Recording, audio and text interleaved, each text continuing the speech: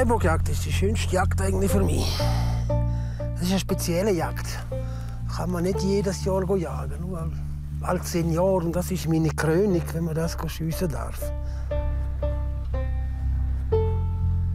Unser Wappentier, das ist unser Stolz. Und ich freue mich darauf, dass ich das schiessen darf.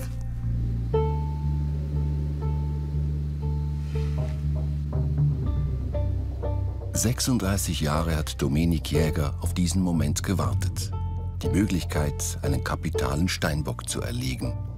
Doch geschenkt bekommt er ihn nicht. Auf ihn wartet eine große Herausforderung. Und nur wenn alles zusammenpasst, wird es der Höhepunkt seines Lebens als Jäger. Davon handelt dieser Film.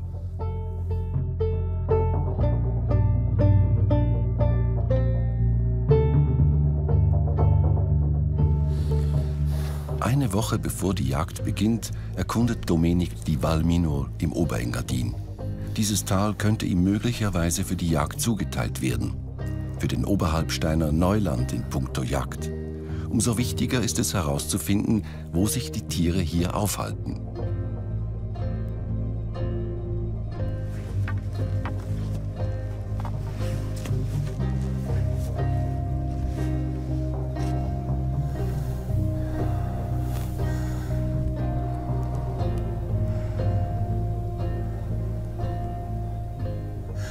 Ich glaube, beide sind gut. Meine Altersklasse dort. Also geschätzt zwischen sieben und neun. Jetzt warten wir einen Moment. Da könnten wir vielleicht noch mal im Großen ansprechen. Wissen wir dann genau, wie, wie alt er ist.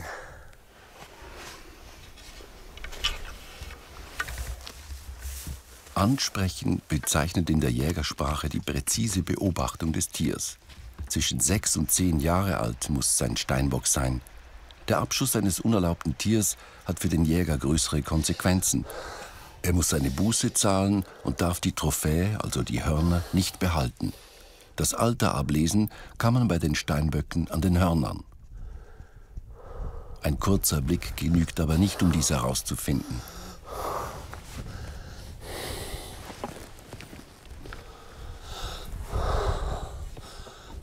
Auch ohne Gewehr wird gepirscht. Steinböcke aus nächster Nähe zu beobachten, ist immer ein besonderes Erlebnis.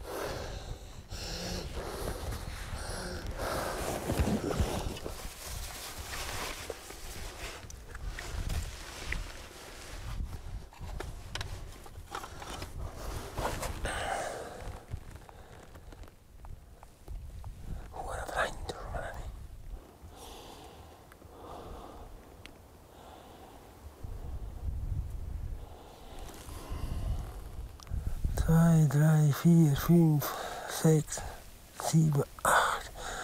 Tu noch mal den Kopf drehen.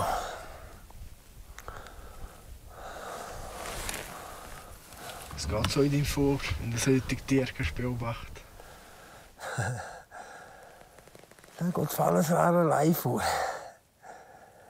Bin ich schon mal am Denken, wie ich da könnte anschleichen könnte. Von der Puls gerade ansteigen, wenn man so etwas sieht. Da könnte man also sehr langsam, langsam rücken und auf Schussdistanz kommen. Also der Adrenalinspiegel steigt dann gewaltig in mir. Eine Woche muss er noch warten, dann ist es soweit. An Geduld mangelt es ihm nicht. Bis zu seinem 58. Lebensjahr musste Dominik Jäger warten, bis er jetzt bei seiner dritten Steinwildjagd endlich einen großen Steinbock ins Visier nehmen darf. Wie sein Name verrät, waren schon seine Vorfahren begnadete Jäger. Eine Leidenschaft, die sozusagen von Generation zu Generation weitergegeben worden ist. Ja, meine erste Begegnung hat schon früher angefangen hat bei der Jagd. Mein Onkel der ist Jagdaufseher in Zur und die Begegnung war schon dort, dass wir mit ihm ab und zu auf Jagd sind und nachher haben wir Salz gebracht fürs Wild und mein Götti und meine Verwandten sind auch Jäger gewesen, und bei können mitgehen und das ist natürlich schon von früher her also ist man reingewachsen in der Jagd rein, sagen wir so. Sein Jagdgebiet kennt er in- und auswendig. Die Die Täler und Berge hier, oberhalb von Pontresina, sind ihm aber fremd. Eine große Herausforderung. Es beansprucht viel mehr Energie, indem man nicht kennt, man weiß nicht, wo man hinkommt. Aber jetzt haben wir schon mal ein paar gesehen und ich denke, das wird schon recht rauskommen bis zum Schluss. Von den 6000 Steinböcken, die in Graubünden heimisch sind, müssen jedes Jahr um die 500 geschossen werden, damit die Population im Gleichgewicht bleibt. Diese Regulierung dürfen jedes Jahr nur eine kleine Anzahl Jäger übernehmen, daher auch die langen Wartefristen für jeden Jäger. Zwei Tiere soll Dominik Jäger erlegen, seinen kapitalen Steinbock und eine Steingeiß, die er aber zuerst schießen muss. So schreibt es das Gesetz vor. Sakramente. Perfekt.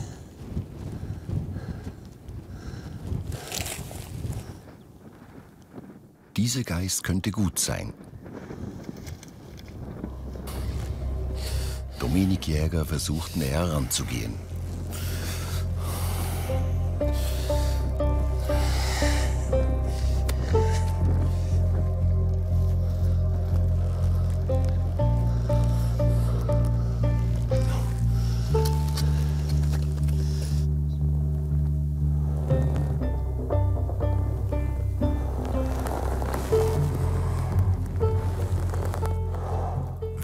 Heute schon Jagd, es wäre ein guter Tag.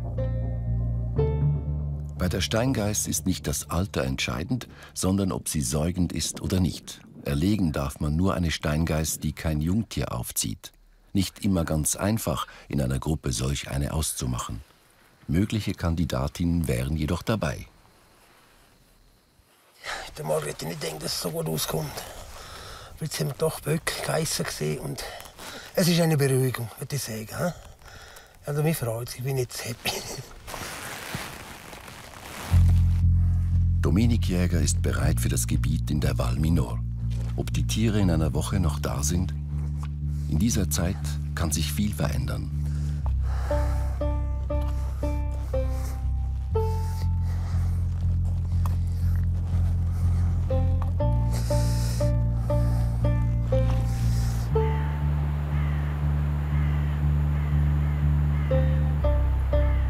Ersten Jagdtag kommt die Ernüchterung.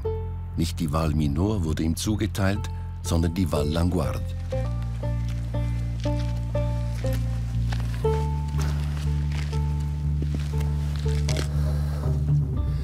In Begleitung seines Bruders John beginnt die Jagd mit der Suche nach einer passenden Steingeiß.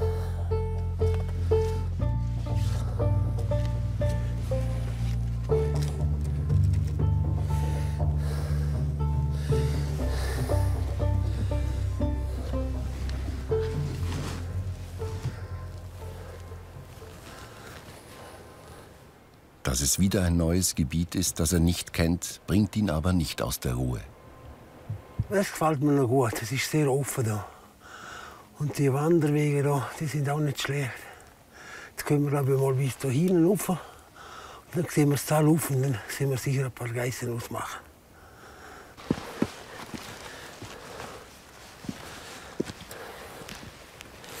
Positives Denken hilft gegen das Ungewisse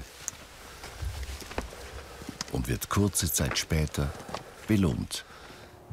Hier ist eine Bella, che non tutto su schizza. Parce que c'est dos choros, dos grandes que tu skits.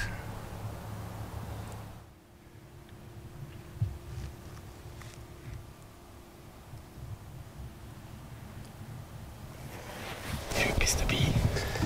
Etwas ist dabei, aber ich weiß noch nicht was. Es sind zwei Kitze, zwei große Geissen. Und dann sind noch vier Stück, aber ich muss noch ausmachen. Bin noch nicht sicher, dass alles so dabei ist. Das Fernrohr muss her. Ein unersetzliches Werkzeug für das Ansprechen.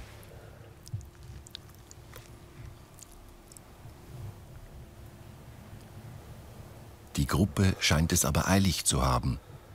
Wurden die Jäger schon entdeckt? Zügig verschwinden die Tiere aus dem Blickfeld. Eine gute Taktik ist nun gefragt. Dominik Jäger entscheidet sich, die Verfolgung aufzunehmen.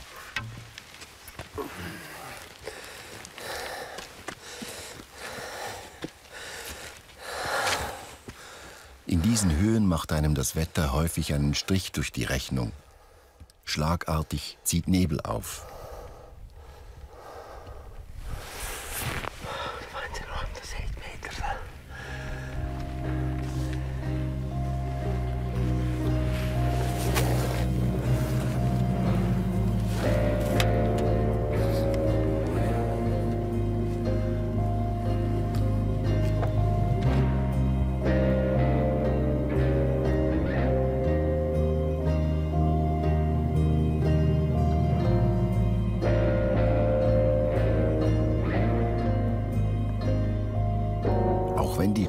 Schussdistanz wäre, die Tiere werden vom Nebel verschluckt und sind weg. Doch die Sonne bekommt wieder die Oberhand und mit ihr steigt auch die Chance auf Erfolg.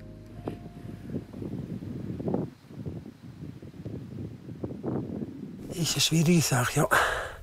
Das ist der schöne Geiss, bei 150 Meter. Aber wir haben noch nicht ganz können ansprechen. Jetzt müssen wir schauen, ob wir links oder rechts gehen, dass uns nicht sieht und probiert die Löcher anzuschleichen. Das wäre eigentlich unsere Sache. Das Gelände ist sehr offen. Ich entscheide mich, das Ganze aus der Distanz zu beobachten, um des Jägers Glück nicht herauszufordern.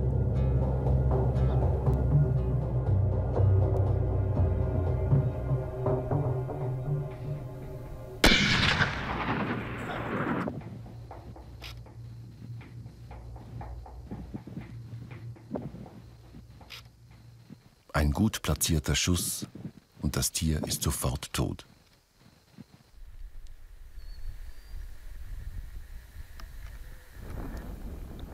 Während der Rest der Gruppe den Tatort verlässt, begibt sich Dominik Jäger zu seiner Beute.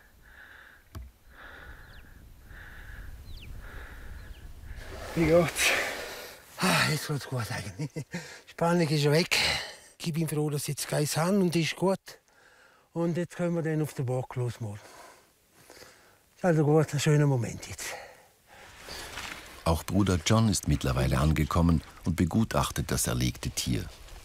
Als Symbol für die letzte Mahlzeit vor dem Tod wird der Steingeist der letzte Biss gewährt. Ein alter Jagdbrauch, um Respekt zu erweisen.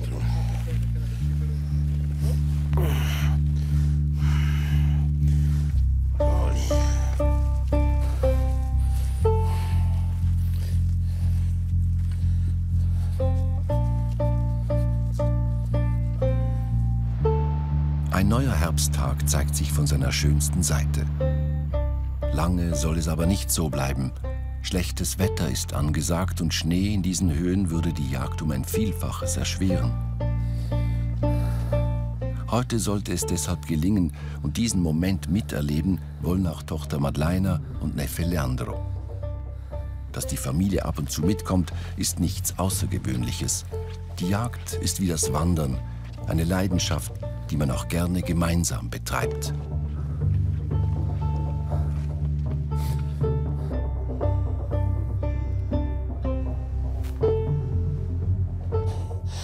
Queste cose incisive.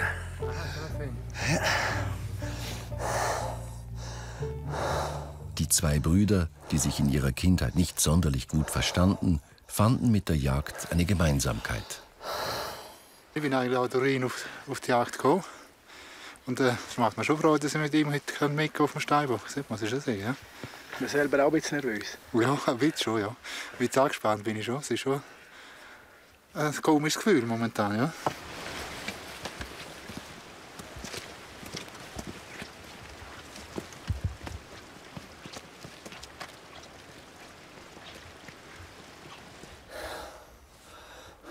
Unterhalb vom Piz Languard ist der Überblick über den Talkessel am besten. Und es geht nicht lange, bis Domenik Jäger die erste Gruppe entdeckt.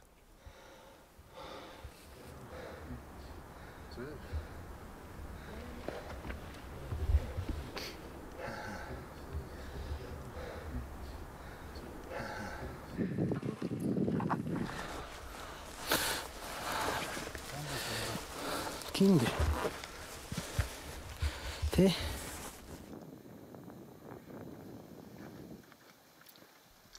Auch weiter oben sichten sie größere Steinböcke. Sie wurden allerdings von etwas gestört und ziehen sich in die Felsen zurück. Schnell ist auch klar, wieso. An einem schönen Sonntag wie diesen sind auch die Wanderwege gut besucht. Vor den Wanderern sind die Steinböcke in Sicherheit. Doch auch Dominik gefällt dieser Rastplatz. Jetzt muss nur noch ein guter Bock dabei sein. Der Hinderdrei ist vielleicht sieben. Also es flimmert so wahnsinnig in dem Fernrohr, dass man uh, schlecht sieht, äh, die Jahrring. Jahrring da. Wenn wir ein bisschen Zeit haben, kriegen wir schon her. Aber wir müssen jetzt nicht pressieren, wenn niemand mehr stören sollte das eigentlich schon klappen. Jeder einzelne Bock wird ganz genau studiert. Und dann ist es soweit. Dominik Jäger hat seinen Steinbock auserkoren. Neun Jahre hat er gezählt. 200 Meter muss er sich noch nähern, bis er die ideale Schussdistanz hat. Die Familie bleibt zurück und beobachtet von hier aus das Geschehen.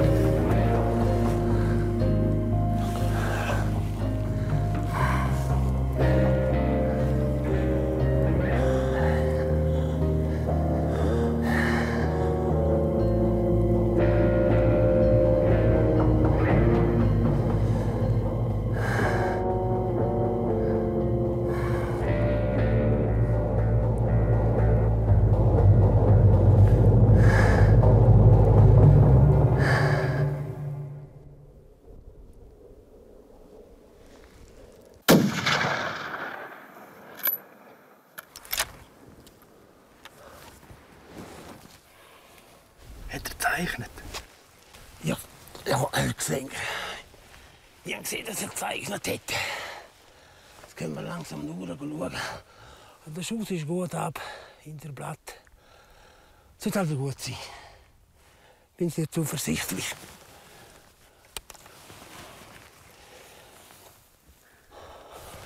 Puls um 180. Nein, 100 Meter ist es. Der Puls. Der Puls ist ja fast über 200, ja, das ist so. Aber jetzt müssen wir durch schauen. Ich bin jetzt ziemlich nervös, weil ich nicht weiß, was es ist. Erst aus der Nähe hat er die Gewissheit, ob er das Alter richtig bestimmt hat. Auch der Rest der Gruppe kann es kaum erwarten.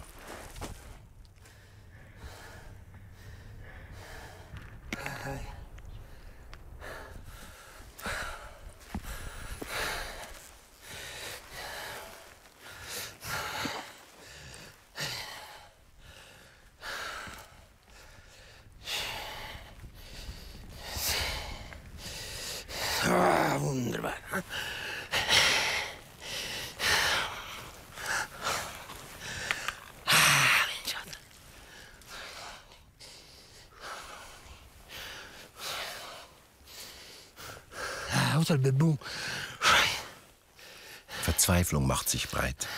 Hat sich Dominik Jäger verschätzt? Ausgerechnet bei seiner wichtigsten Trophäe?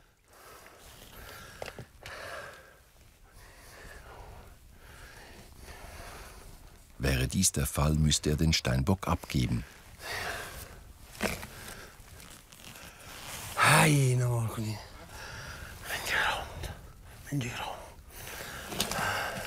Cinque, sei, sette, otto. Che è sbecegno? Nove, dieci. Dieci mezzo, ma anche la shampoo. Poi che ti lascia warm. Hey, Gratuliere dir, Papa. Danke. Mega gut, Papa. Super, Meni, bravo. Che cosa non ben deciso giù mangia fici.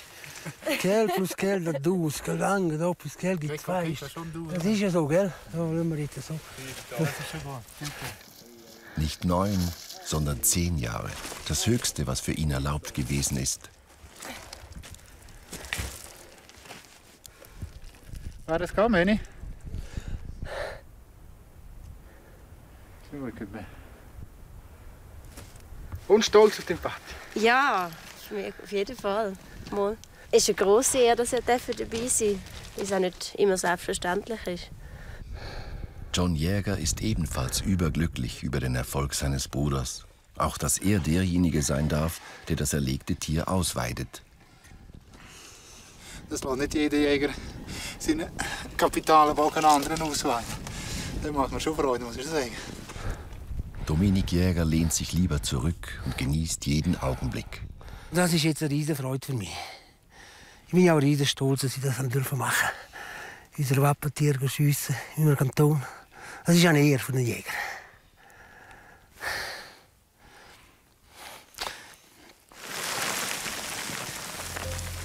Am Schluss hat alles gepasst. Dominik Jäger hat die Herausforderung gepackt und seinen Traum vom kapitalen Steinbock verwirklicht.